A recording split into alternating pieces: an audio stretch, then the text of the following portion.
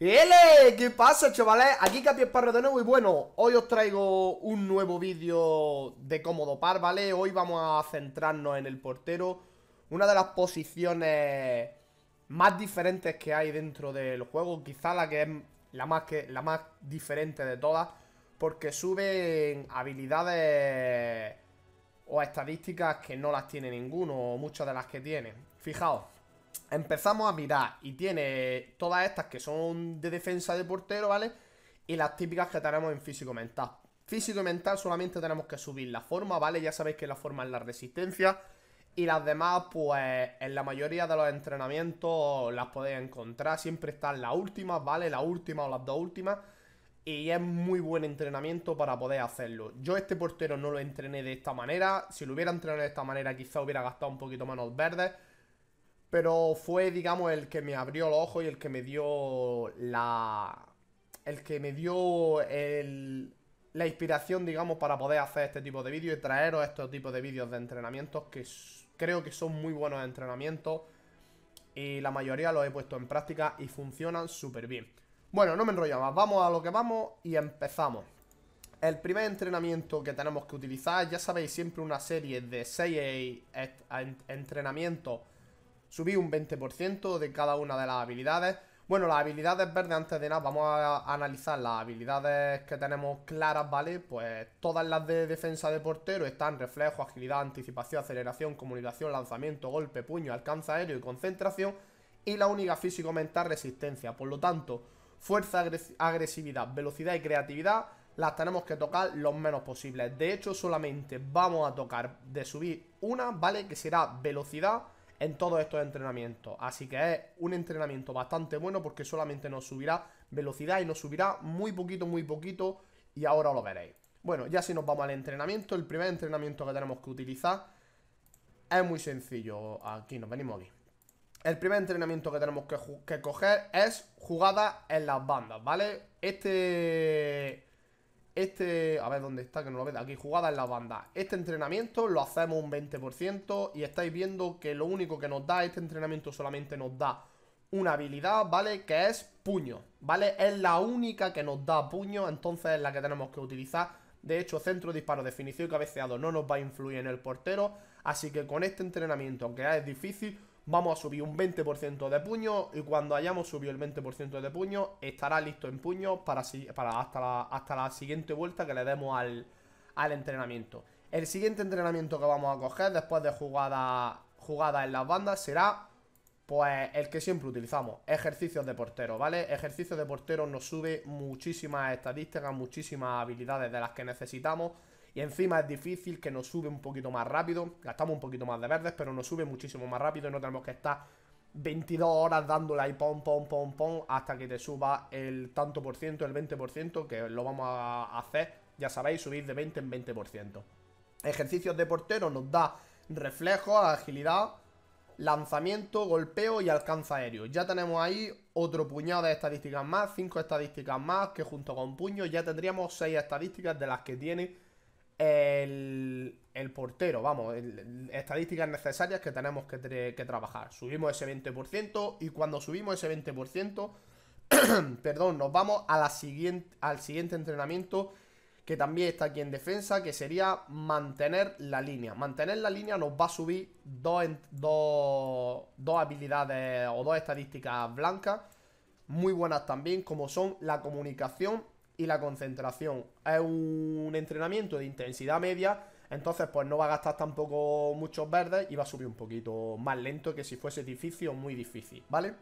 Nos va a subir dos estadísticas como son comunicación y concentración y marcaje y colocación que no nos sirve para el portero. Así que por ahora ninguna habilidad gris estamos subiendo, nos viene súper bien, así que perfecto hacemos entrenamiento hasta que nos fijemos, como ya hemos dicho en el anterior vídeo, y lo hemos dicho durante todo este vídeo, a fijarnos, por ejemplo, en comunicación, cuando veamos que haya subido un 20% comunicación, también ha subido un 20% concentración. Pues listo, tenemos ya esa parte, esas estadísticas blancas, las tenemos ya el 20% que nos hace falta. Y nos pasamos al siguiente entrenamiento. Ahora nos vamos a los ataques, al ataque, perdón, a los entrenamientos de ataque y subimos remate uno contra uno.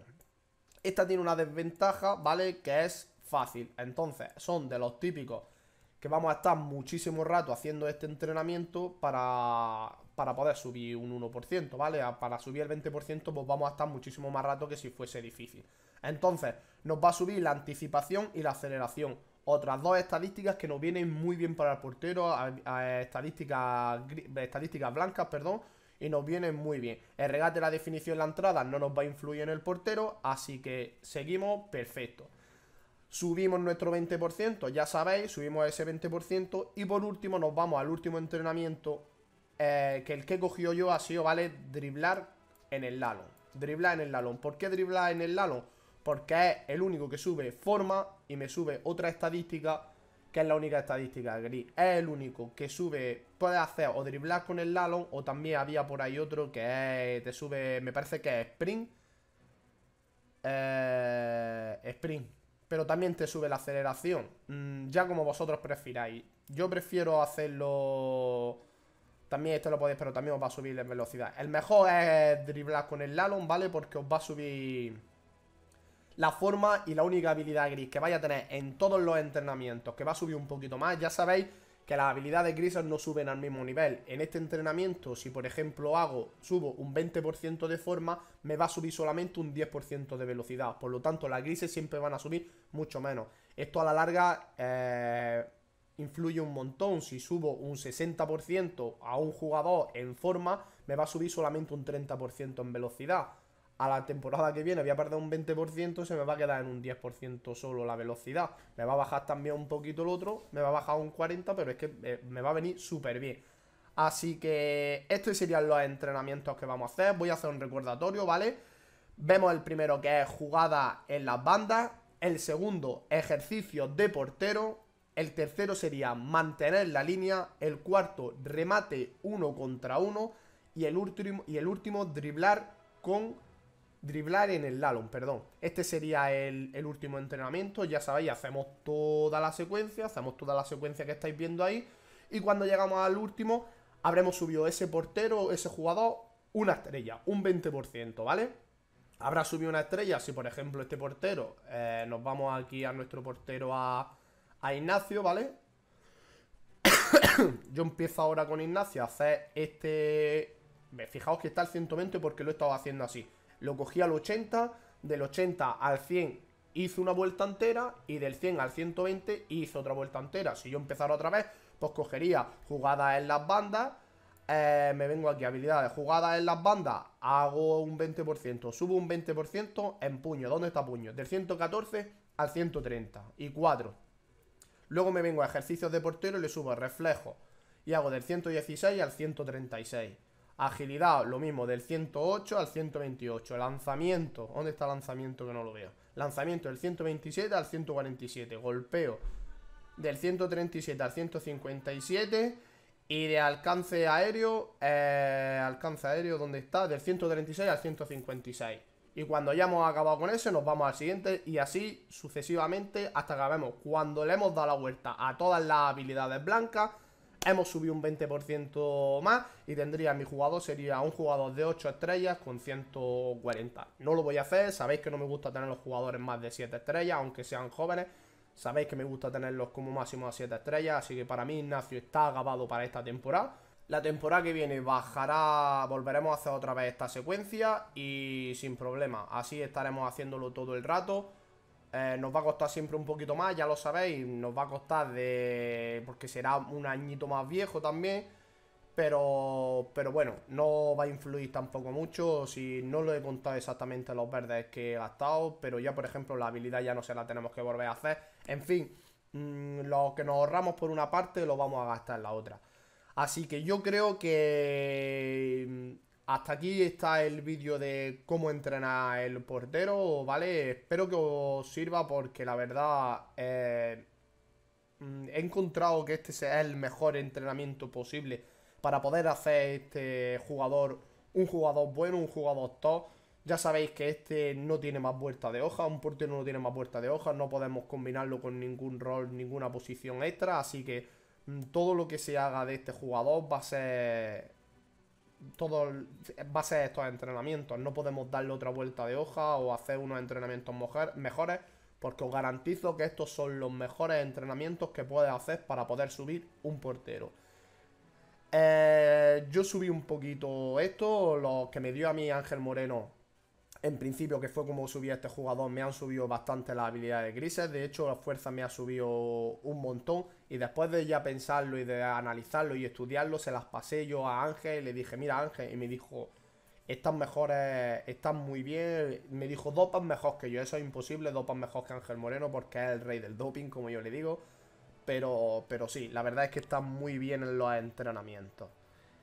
Y ya está, yo creo que ya no tengo que contar más nada. Eh, voy a aprovechar también este vídeo, aunque sea solamente de, de cómo dopar el portero, para explicarlo. Ay, pero creo que aquí no me va a salir porque no lo he actualizado. No he actualizado aquí, vale. Os lo explico para que lo hagáis. Actualizáis el Toy Eleven, ¿vale? Porque han cogido y han metido en el nuevo parche algo que nos va a venir muy bien.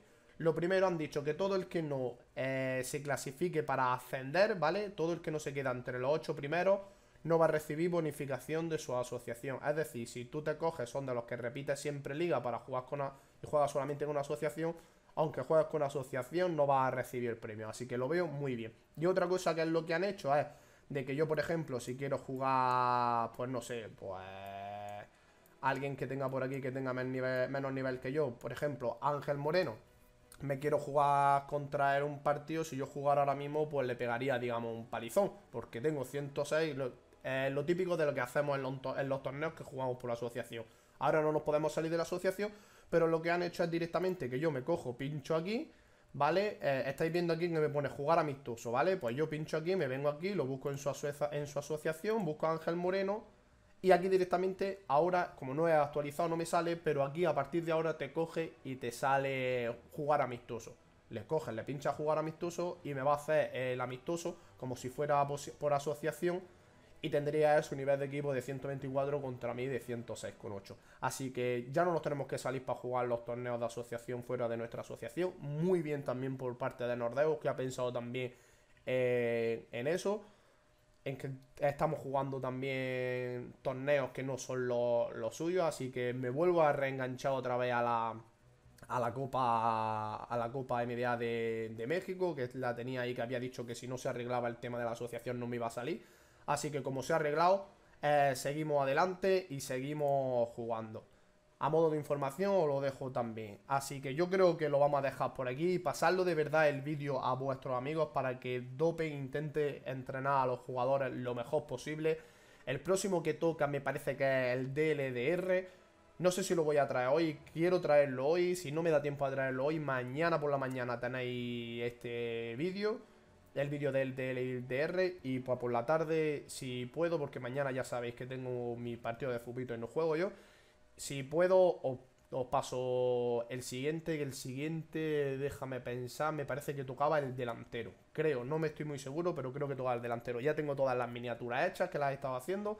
Y así que ya están todos los vídeos preparados Así que ya sabéis, si os ha gustado, darle a like, ¿vale? Suscribiros al canal para no perderos ningún vídeo 280% Dale a la campanita para que YouTube avise cuando subo un vídeo y señores, muchísimas gracias de verdad, nos vemos en el siguiente capítulo. ¡Hasta luego chavales!